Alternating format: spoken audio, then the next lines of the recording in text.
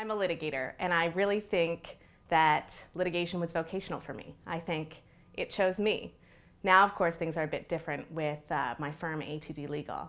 So, ATD Legal is one of Canada's few outsourcing firms, and what that means is we really focus exclusively on assisting other large uh, law firms and smaller law firms too on uh, on you know getting their large projects scaled up efficiently and effectively in a way that's cheaper for the client. Oh, it was it was hard to leave because I really loved the job I had previously.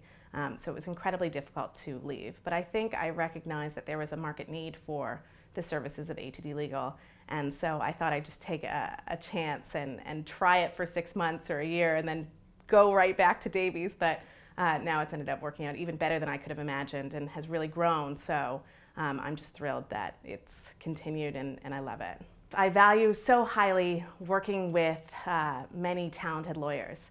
Uh, due to the nature of what we do at ATD Legal, I'm often on a due diligence or document review project with 40 or 50 lawyers. Not to mention from the firm side, working with some of the best lawyers in the country on some sophisticated transactions. I think it's important to recognize all of the milestones to date, from taking my first steps as a litigator at Lerners, to learning so much and making partner at Davies, to winning my first big client with ATD Legal. I really think it's important to, to recognize that everything has gotten me to where I am today, and I couldn't be happier. I've been very lucky to have so many mentors, many of whom now serve on ATD Legal's advisory board.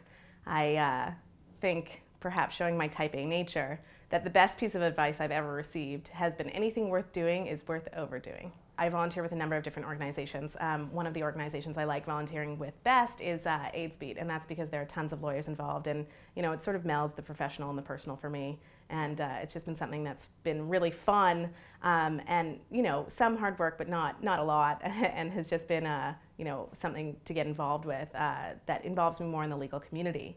Um, in addition.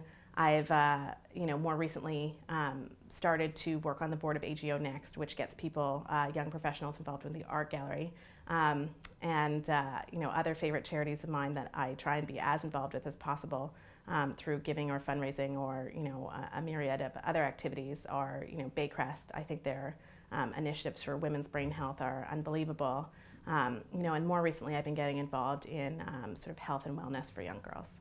I love volunteering, and I think it's important to recognize, of course, that uh, it allows you to give back in some small way. But perhaps equally importantly, it allows me to meet new people, to tackle new and different challenges, and to just have fun.